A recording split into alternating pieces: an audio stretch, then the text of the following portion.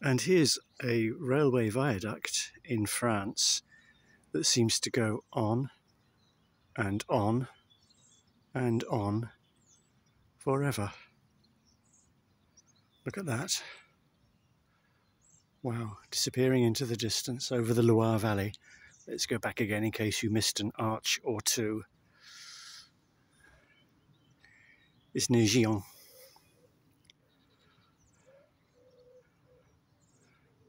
Amazing.